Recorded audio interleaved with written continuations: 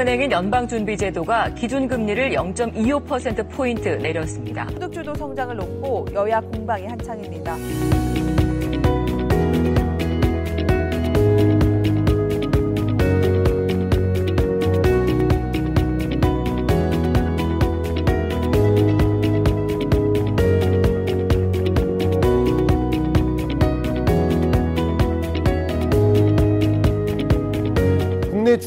주요 연구기관들도 다 반등한다고 얘기하는데 도대체 누가 위기라고 이야기하는 건가?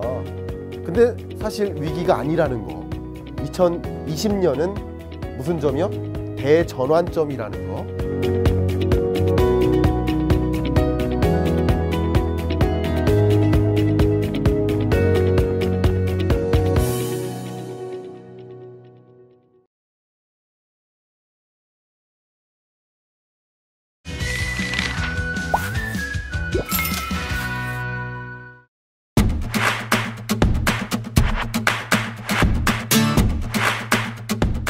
안녕하세요. 전국에 계신 경할몬 여러분, 경제 읽어주는 남자 김광석입니다. 반갑습니다.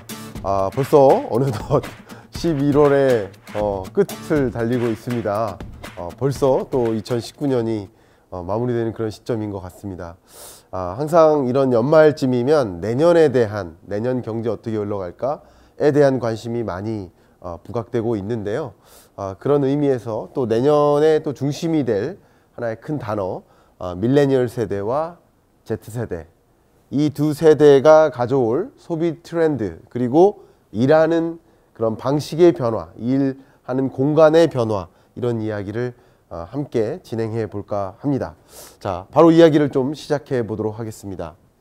어, 얼마 전이죠. 얼마 전도 꽤 됐습니다. 이미 타임즈에서 이 소위 말하는 밀레니얼 세대를 me me me generation 아, 나만 본다 이거죠. 어, 나밖에 모른다. 나쁘게 얘기한다면 어쨌든 나 중심이다. 개인주의적이다. 이거는 옳고 그름의 문제가 아닙니다. 집단주의적이냐 개인주의적이냐 이것은 옳고 그름의 문제가 아니라 성향의 차이인 거죠. 어쨌든 성향이 개인주의적이다, 집단주의적이기보다는 그런 것을 의미하는 아, 그런 표현으로 나왔고요. 또 얼마 전에 또 이코노미스트에서 The Rise of Millennial Socialism, 그러니까 이 밀레니얼 세대의 어, 이 소셜 미디어에 의존한 그런 삶의 방식에 대해서 또 거론한 적이 있죠. 이렇게 미국에서도 세계적으로도 밀레니얼 세대에 대한 관심이 부각되고 있다. 이제 본격적으로 이야기를 할 텐데요. 잠깐 밀레니얼 세대 그리고 Z 세대 도대체 무엇인가 이야기를 먼저 간략하게 정리하고 그리고 이어서 밀레니얼 세대가 아, 부각이 되면서 부상하면서 결국 경제적으로 어떤 변화가 있을지 그런 이야기를 하나하나 해 보도록 하겠습니다. 기본적으로 미국에서는 이 세대 구분이 이렇게 됩니다. 그러니까 미국의 세대 구분과 우리나라의 세대 구분이 좀 차이가 있죠. 어, 차이가 있는 이유는 어, 베이비붐 세대부터 예를 든다면 베이비붐 세대의 정의 자체가 어, 전쟁 직후에 급속하게 출생 출생자 수가 많아지죠. 그런 현상으로 어, 인해서 생겨난 그 세대를 이제 baby boomers 혹은 베이비 붐 세대 이렇게 표현하는데 전쟁 직후니까 미국에서의 전쟁과 한국 전쟁 차이가 있잖아요. 그러니까 한국은 1955년을 기준으로 1955년 55년생 부터 베이비붐 세대로 정의를 한다면 미국은 좀 차이가 있죠. 어쨌든 세대 구분에는 차이가 있다. 그러나 상당 부분 교집합이 크고요. 또 세대 구분상의 특성들이 매우 유사하기 때문에 커다란 차이는 없다. 뭐 이렇게 정리를 하고 가겠습니다. 어쨌든 baby boomers가 있고 그 다음 어, X 세대죠. 제가 제 나이를 말씀드릴 수 없지만 어쨌든 X 세대는 그 이후 세대라고 볼- 보면 되고요. 우리나라로 치면 1970년생에서 80년생까지 이 정도가 어, X 세대다 이렇게 볼 수 있겠습니다. 아, 그리고 밀레니얼, 밀레니얼 세대는 그 이후 세대, 1981년생부터 우리나라는 그래요. 아, 미국의 기준은 조금 차이가 있습니다. 우리나라는 1981년생부터 IMF 전까지 1997년생까지를 가리킵니다. 세대의 차이가 있죠. 어, 엄청 차이가 있고 그 이후 세대를 또 어, Z 세대다 이렇게 합니다. 이 밀레니얼 세대를 X, Y, Z 해가지고 Y 세대다라는 표현을 쓰고도 있습니다. 자, 그러면 이 세대 구분이 왜 중요하냐? 결국은 밀레니얼 세대와 베이비붐 세대를 비교 분석하는 것을 많이 해요. 왜냐하면 이들이 주가 된다면 결국 이들의 소비 패턴과 소비 성향과 선호와 기호가 모두 다 다르니까 삶의 방식 자체가 차이가 있기 때문에 어떤 컨셉에서 삶의 방식의 차이가 있을까? 여가 시간을 어떻게 보낼까?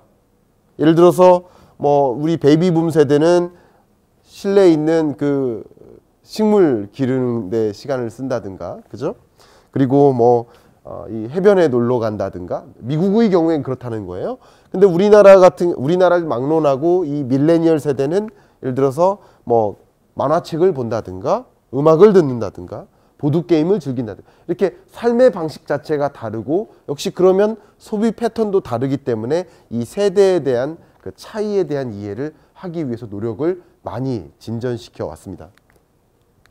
자 그런데 미국의 세대 분포를 먼저 보도록 하겠습니다. 우리나라랑 차이가 있다는 것을 다시 한번 강조해 드리고요. 미국 같은 경우도 밀레니얼 세대와 아, Z세대가 이렇게 있다 그러면 거의 한 20% 정도씩을 차지합니다. 그렇죠? 근데 우리나라랑은 구조가 좀 차이가 있어요. 조금 이따 말씀드린다면 우리나라는 여기가 움프 페이죠, 이렇게. 그러니까 저출산 현상이 고스란히 반영된 모습이고요. 미국 같은 경우는 그렇게 움푹 페이지는 않는 모습, 그죠? 예, 저출산 현상이 극심하지는 않은 모습. 근데 우리가 어, 생산을 한다 그러면 기업에서 제조를 한다 그러면 그 전량 그 제품이 소비자의 기호를 이해해서 결국 우리나라 내수용으로만 판매하는 것이 아니라 세계 어, 글로벌 시장 그리고 무역을 염두하고 생산을 하잖아요. 그런 컨셉에서 밀레니얼 세대에 적합한 맞춤화된 제품을 공급한다면 오히려 다른 나라에서는 저출산 현상으로 인해 이 세대의 비중이 작아질 것이다라고 가정하는 것이 잘못됐다는 것이죠. 그죠? 결국 세계 시장을 이해하는 측면에서 미국을 잠깐 예를 들어 본 겁니다. 그러니까 우리나라랑은 어, 좀 차이가 있다. 근데 미국 같은 경우는 앞으로는 어떨 것이냐? 지금은 이렇지만 앞으로는 밀레니얼 세대와 X 세대 그리고 이 두 세대가 거의 주가 될 것이다. 결국 이 세대가 저물고 다른 세대가 등장하는 그런 시대의 변화를 생각해 본다면 앞으로 제품을 생산하고 그죠? 옷이 됐던 뭐 음식료품이 됐던 자동차가 됐건 어떤 내구재 소비재를 막론하고 생산되는 제품의 타겟 소비자가 이 밀레니얼 세대가 주가 된다라는 것을 우리가 생각하지 않고 기업 경영하면 안 되겠죠. 그런 측면에서 밀레니얼 세대에 대한 관심이 커지는 겁니다. 자, 이제 우리나라로 가도록 하겠습니다. 제가 이 그래프를 그리면서 굉장히 시간을 많이 쏟았습니다. 이게 어, 구분하기가 굉장히 어려워가지고 했는데 2020년 기준으로 우리나라의 인구 분포입니다. 연령별 인구 분포. 보시면 우리나라는 0세에서 20세까지의 인구가 극심하게 줄어드는 현상이 있죠. 그러니까 미국하고는 차이가 있는 거죠. 미국은 이런 모습인데, 그죠? 우리나라는 저출산 현상이 두드러지게 나타나고 있다. 그리고 소위 말하는 베이비붐 세대가 우리나라 이렇게 짧아요. 조금 짧아요. 짧은 이 베이비붐 세대가 어떻게 돼요? 만 65세가 되는 시점이에요. 2020년은. 다시 말하면 베이비붐 세대가 본격적으로 교수도 은퇴하는 시대. 그죠? 만 65세가 되니까 교수도 은퇴하는 시점. 그러니까 말 그대로의 은퇴의 본격화를 알리는 그런 어, 시, 시기가 될 것이다. 2020년의 모습이다. 어쨌든 그렇고요. 어쨌든 베이비붐 세대가 가고 그러면 다음 세대가 올 텐데 말, 말 그대로 70년에서 80년까지 태어난 이 세대 X세대가 경제의 주력이 되겠죠. 소위 기업에서 뭐 팀장이라든가 뭐 차장이라든가 이런 역할을 하는 가장 큰 일꾼들이라고 또 볼 수도 있겠죠. 부장부터 뭐 차장까지 뭐 이렇게 있겠죠. 다음은 밀레니얼 세대입니다. 말씀드렸듯이 81년부터 96년생, IMF 전까지. 근데 밀레니얼 세대의 가장 큰 특징이 뭐예요? 자라면서 처음부터 뭐 하는 거예요? 디지털 환경에서 자랐다는 거죠. 자라면서 처음부터 인터넷을 하면서 자랐다는 것이죠. 어, Z세대의 특징은 또 뭐가 차이가 있냐면 밀레니얼 세대는 IMF를 겪었기 때문에. 그러니까 밀레니얼 세대를 X세대와 구분해서 특성을 어, 설명할 필요도 있고 또 베이비붐 세대와 분류해서 특성을 찾아볼 수도 있고 또 다른 Z세대와 구분해서 어, 또 특성을 어, 들여다볼 필요가 있겠지만 Z세대와 밀레니얼 세대의 가장 큰 차이점은 밀레니얼 세대는 IMF를 지켜봤다는 거죠. 그래서 우리 아버지가 이, 사, 이 구조조정으로 어, 이제 인사 해고 처리가 된 모습을 직접 보거나 아니면 주변에서 봤다는 것이죠. 그러니까 IMF를 겪었다. IMF 외환 위기를 겪었다. 아, 완전히 체감한 세대와 또 차이가 있겠지만 어, 지켜봤다. 근데 지켜보지 못했다. 거의 지켜보지 못했다. 뭐 이렇게 볼 수도 있겠죠. 그리고 밀레니얼 세대는 굉장히 극심한 경쟁의 시대였습니다. 이때부터 어, 인사 구조조정이 일어났고 산업의 구조조정이 본격화되면서 이때까지는 경제가 엄청나게 성장하면서 그런 취업에 대한 고민이 상대적으로는 덜했었다. 그런데 이 밀레니얼 세대들은 엄청난 취업에 대한 고민이 있고 경쟁적으로 자랐고 또 여러 가지 면에서 특징이 있고 또 밀레니얼 세대의 또 두드러진 특징은 수험 준비를 아, 인강으로 했다. 인터넷으로 공부를 했다. 그래서 제가 이제 대학에서 강의를 어, 가거나 아니면 이제 대학생들을 만나는 자리에서 어, 비교를 해보면 저도 모르게 비교가 될 거 아니에요. 이 베이비붐 세대를 대상으로 어, 특강을 갔을 때와 엄청난 차이가 있습니다. 그러니까 베이비붐 세대들은 엄청나게 집중해요. 열광하고. 근데 이 밀레니얼 세대들은 상대적으로 인강에 익숙하기 때문에 그런 게 아닌가 그런 생각을 해봐요. 인터넷 강의에 더 익숙하기 때문에 어쩌면 이런 예, 유튜브 구독자의 상당한 비중을 차지할 수도 있겠죠. 밀레니얼 세대 그런 여러 가지 세대적인 특성들이 있겠다.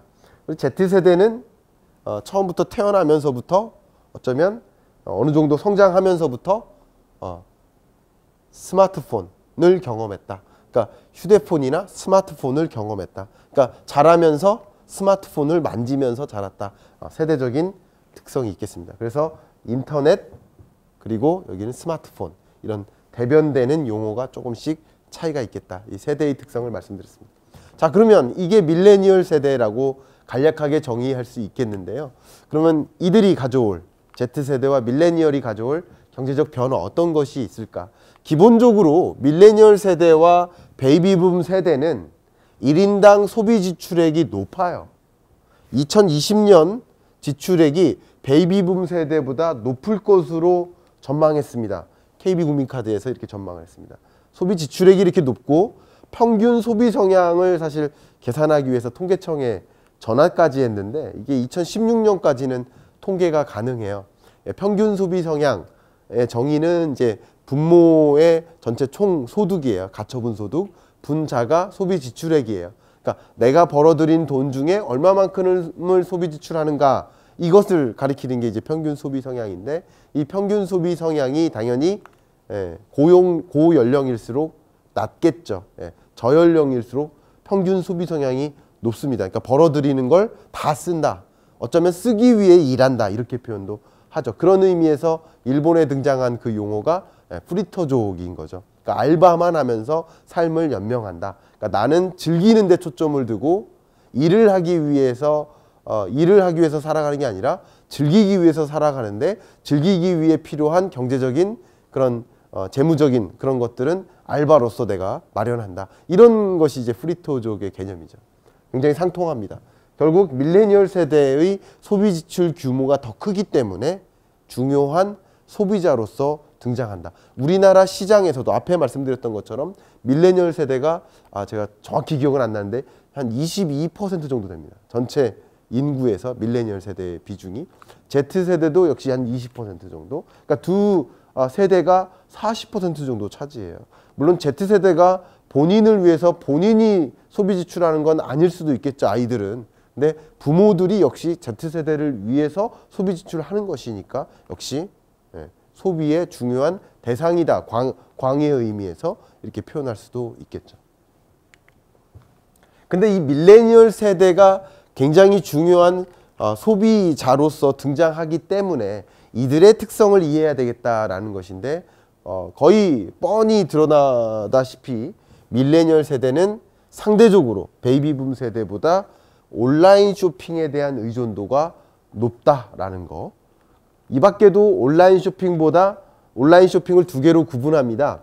PC로 구매하는 인터넷 쇼핑 그리고 모바일로 구매하는 모바일 쇼핑 이 두 가지로 구분하는데 모바일 쇼핑이 이미 인터넷 쇼핑을 압도적으로 넘어섰죠. 근데 그런 과정에서 밀레니얼 세대의 역할이 굉장히 컸었다. 물론 베이비붐 세대도 아직 어, 상당 비중 어, 온라인 쇼핑에 의존하는 건 맞지만 어, 그 비중의 차이는 어마어마하다. 그러면 이 밀레니얼 세대의 소비 패턴과 소비 성향은 전체 소, 세대의 아, 소비 패턴을 결정짓는 이제 goal setter라는 표현을 쓰는데 그런 결정짓는 역할을 한다. 이들의 소비 패턴이 나머지 계층의 소비 패턴을 결정짓는 역할을 한다 라는 측면에서 또 한 번의 의미가 있겠죠. 그래서 지금은 이제 온라인, 오프라인 아, 지급 결제 비중만 봤지만 이 밖에도 뭐 예를 들어 소셜 미디어로 뭐 이 제품에 대한 상세 어, 이력과 사람들의 평가를 고려해서 소비 여부를 결정한다든가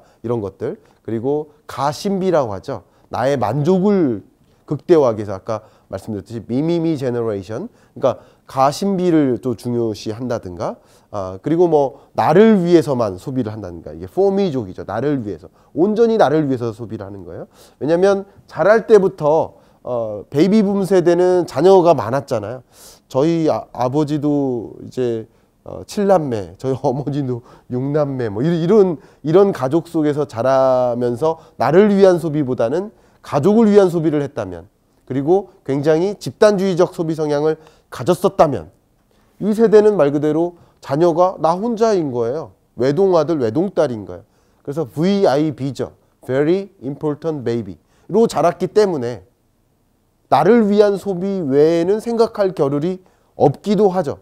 네, 그런 수, 이 세대만의 소비 패턴을 충분히 이해할 때 이들에게 맞춤화된 서비스를 공급할 수 있겠죠. 제 시간이 굉장히 많다면 이들의 소비 패턴과 이런 것들을 충분히 말씀드리겠지만 여기까지만 이게 간략하게 말씀드리고 어쨌든 이런 소비 패턴 자체의 차이가 있기 때문에 이 세대에 대한 충분한 이해가 기초가 돼야 되겠다. 2020년에는 말 그대로 밀레니얼 세대가 이 소비의 주력 계층이 되고 잠깐 앞으로 다시 돌아간다면 이 밀레니얼 세대가 만 24세가 되는 해입니다. 2020년이. 다시 말하면 대졸 신입사원으로 등장하는 그런 첫 해가 될 수도 있겠다라는 측면에서 물론 어, 고졸 밀레니얼 세대가 이미 회사에 와서 같이 일을 하고 있지만 그런 여러 가지 면에서 소비력도 갖춰 나가고 있다. 네, 그런 것을 고려해 본다면 밀레니얼 세대의 소비 패턴을 이해한 맞춤화된 그런 마케팅, 제품 개발, 서비스 어, 이런 것들에 대한 고민이 심층적으로 필요하겠다. 두 번째로는 밀레니얼 세대와 Z세대의 생산, 일의 변화, 방금은 소비의 변화, 그리고 생산, 일하는 현장의 변화, 그리고 문화의 변화, 주거의 변화. 제가 드릴 말씀들은 굉장히 많습니다. 책 한 권이 나올 거예요. 근데 지금 생산 일의 방식의 변화를 말씀드리고자 합니다. 앞서 말씀드렸던 것처럼 me me me generation 나만을 생각한다. 결국은 집단주의적이냐 아니면 개인주의적이냐 아, 그런 성향의 차이도 있고요. 어, 주로 정보 탐색을 신문에 의존했다면 지금 이 밀레니얼 세대는 이렇게 스마트폰에 의존한다. 이제 아주경제신문에 어, 한 면짜리 칼럼이 실렸을 겁니다. 어, 그래서 이 주제로 실렸는데 제가 뭐라고 시작을 했냐면 어, 궁금한 것이 있을 때 네이버에 물어보십니까? 유튜브에 물어보십니까? 아니면 옆에 있는 사람한테 검색하라고 시킵니까? 이 세 가지 질문을 던집니다. 그러니까 네이버에 물어보는 세대를 소위 X세대, 유튜브에 물어보는 세대를 밀레니얼 세대, 그리고 옆 사람한테 검색해 보라고 시키는 세대를 베이비붐 세대 이렇게 표현을 하기도 하죠. 그런 측면에서 아, 양식이 다르다. 근데 양식이 다른 사람들끼리 모여서 같이 일을 해야 된다. 그런 측면에서 이제 미래 지도자의 덕목으로서 밀레니얼 세대를 이해하자라는 이야기가 붐이 일기 시작하는 겁니다. 그런 의미에서. 이들을 이해하고 이들과 함께 잘 일하는 리더가 진정한 리더라는 거죠. 그러니까 리더의 덕목으로서 굉장히 중요하게 강조되고 있는 것입니다. 이렇게 어, 일하는 방식도 그렇고 대면하기를 꺼려하죠. 왜냐하면 인터넷 강의에 익숙해 있기 때문에 대면 강의에는 상대적으로 좀 익숙하지 않은 경, 경향도 있어 보입니다. 대학 내에서도 이미 온라인 강의가 많이 등장했고 온라인 강의에 대한 선호가 굉장히 높으시죠. 그리고 이미 특히 Z세대 같은 경우는 초등학교 어, 학생들이 2019년 1학기부터 이미 디지털 교과서로 학습을 시작했죠. 여러 가지 측면에서 비대면화에 익숙하다. 우리는 택시를 잡기 위해서 어, 길에서 손을 흔들었지만 택시를 잡고 길을 안내하고 지급 결제하기 위해서 카드를 내미는 이런 모든 수단이 제외된 비대면화된 택시 서비스를 이용하고 있지 않는가. 그러니까 택시 기사와 단 한 번도 대화가 나눌 피, 대화를 나눌 필요가 없어진 사회를 우리는 살고 있다. 그러니까 비대면화에 익숙하다. 그래서 직접 대면 보고, 보고하기를 꺼립니다. 그래서 뭐냐면 이 X세대 입장에 제가 X세대라고 가정을 해볼게요. 가정만 하는 겁니다. 자, 제가 X세대예요. 저는 과거에 이제 보수적인 한 어, 연구기관에서 어, 미, 주니어로서 연구할 때는 우리 팀장님, 실장님이 안 가면 저도 안 가는 거예요. 눈치 보는 거죠. 그렇게 어, 자랐는데 이 X세대는 근데 이제 지금은 X세대가 팀장이 되고 과장이 되고 뭐 차장이 됐는데 이제 밀레니얼 세대가 팀원이 된 거예요. 근데 밀레니얼 세대는 내가 퇴근 안, 해, 안 하는데 퇴근을 하는 거죠. 이런 면에서 일하는 방식 자체의 차이가 있는 거예요. 왜냐하면 밀레니얼 세대는 내가 중요한 거예요. 조직이 중요하기보다는 내가 더 중요한 거예요.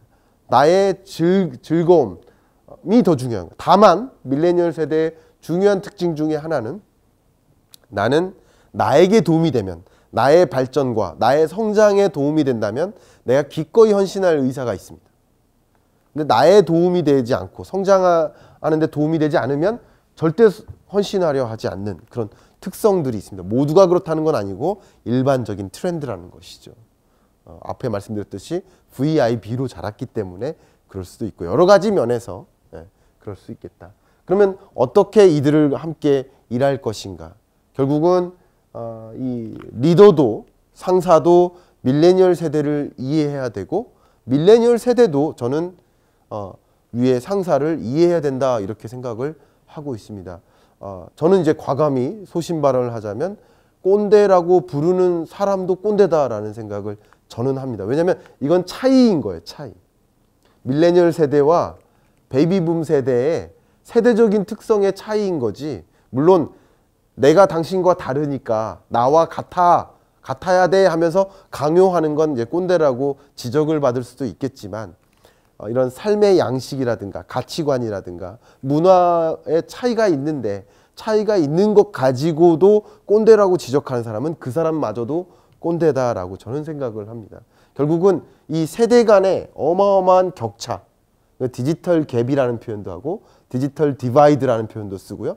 문화적인 갭도 있고 여러 가지 면에서 격차가 있기 때문에 이 조직 문화 관리 차원에서 서로를 이해하는 그런 교육 프로그램들도 굉장히 많이 확대될 것이다라고 말씀드리겠습니다.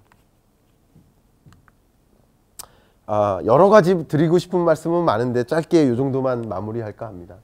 이제 소비자와 직접 만나는 어, 서비스 공간, 예를 들어 유통 매장을 한번 생각해 볼게요. 근데 결국 이 밀레니얼 세대가 중요한 소비자로서 등장했기 때문에 이들의 소비 패턴과 결국 이 베이비붐 세대의 기존 세대의 어, 소비 패턴의 차이가 있기 때문에 어, 이 서비스 공간에서의 일하는 방식마저 차이가 있을 것이다 라는 것을 미리 말씀드립니다. 보시면 쇼핑 시에 상대적으로 중요하게 고려하는 요소가 무엇이냐를 물어봤는데 밀레니얼 세대와 이전 세대 간의 차이가 있어요. 보면 밀레니얼 세대는 상대적으로 이래요. 상대적으로 판매원이 최신 제품이나 패션을 착용하고 있는지 여부. 그러니까 판매원도 트렌드한가 이거를 보는 거예요. 그리고 판매원이 매장 내 제품을 착용하고 있는가. 그러니까 나이키 가게에 갔으면 나이키 신발을 신고 있는가 아닌가가 또 중요한 거예요. reference를 찾는 거예요. reference. 그리고 판매원이 제품 추천을 해주는가 이런 부분을 상대적으로 쇼핑 시에 밀레니얼들은 고려를 많이 하고요. 반대로 그 기존 세대 같은 경우는 가격 할인을 많이 해주는가 음? 내가 필요할 때 판매원이 찾을 수 있게 도와주는가 그리고 판매원이 적극적으로 제품 찾는 것을 도와주는가 이런 여러 가지 쇼핑 환경에서 이 세대 간에 기대하는 것이 조금의 차이가 있다. 그러면 밀레니얼 세대가 크게 소비자로서 부상하는 그런 2020년 경제에서는 결국 유통 매장에서도 어떻게 밀레니얼 세대에 적합한 그 트렌디한 접근을 해 나가는지 이런 접근 방식도 달라지기 때문에 역시 이런 소비 서비스 산업에서는 특히 고객과 직접 만나는 서비스 산업에서는 이런 어, 일하는 방식, 생산의 방식도 차이가 있을 것이다. 네, 마무리를 좀 하도록 하겠습니다. 뭐 드릴 말씀 굉장히 많은데요. 어쨌든 첫 번째는 Z세대와 밀레니얼 세대가 중요한 소비 계층으로 등장하기 때문에 이들의 맞춤화된 제품과 서비스를 공급하는 방식으로 적극적으로 어, 맞춰 나가야 되겠다 하는 그런 제안을 좀 드리고요. 두 번째는 일하는 방식에 있어서의 변화, 문화의 변화 이런 것들이 있기 때문에 이제 밀레니얼 세대 TV 안 보는데 계속 TV 광고 할 거냐 이 얘기죠. 한마디로. 결국 어, 이들의 맞춤화된 어, 어프로치, 제품, 어, 서비스 공급이 필요하다라는 말씀을 드리고요. 어, 마지막으로 일하는 방식의 변화가 있겠다라는 측면에서 많이 검토를 했죠. 그리고 함께 일해야 됩니다. 함께 조직을 구성해야 됩니다.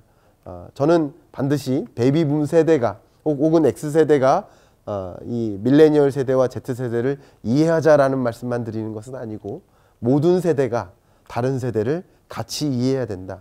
모두가 그 세대에 대한 격차를 줄여나가야 된다. 모두가 그 다양성을 인정하는 그런 사회로 거듭나야 되겠다. 어, 조직 내에서도 마치 어, 조직 문화가 어, 다양성을 인정하는 분위기로 어, 나아가야겠다. 어, 나와 다르다고 어, 베이비붐 세대가 내가 성장해왔던 그런 방식대로 그 기준대로 그 어, 밀레니얼 세대의 의견을 들어보면 도저히 맞지 않는 거죠. 반영되지 않죠. 의견이 어, 묵살되는 경향이 높죠. 제가 강조할 때는 항상 그렇습니다. 혁신하는 조직은 신입사원의 의견이 고스란히 공유될 때 그럴 때 혁신하는 조직이 있을 수 있다. 혁신하는 조직과 그렇지 않은 기업 간의 차이는 그것이다. 라는 이야기를 꼭 합니다. 혁신적인 아이디어는 반드시 신입사원으로부터 나온다. 왜냐하면 부장님 혹은 대표님, C레벨 어, 그동안에 성공해왔던 방식대로 어, 그, 생, 그 방식, 루틴에서 벗어난 새로운 아이디어를 제안하기 어려워요. 근데 세상은 나와 가깝기보다는 이 신입사원에 가깝거든요. 신입사원에 가까운 이 사람의 잣대로, 이 새로운 세대의 잣대로 들여다봤을 때 아, 지금의 방식보다 새로운 방식이 낫겠다라는 방식의 어떤 제안을 한다면 그런 것들이 적극적으로 검토될 수 있도록 하는 다양성이 인정, 인증되는 그런 조직 문화를 구축하는 것이 필요하겠다 말씀드리면서 이번 주 경제 읽어주는 남자 마무리하겠습니다. 감사합니다.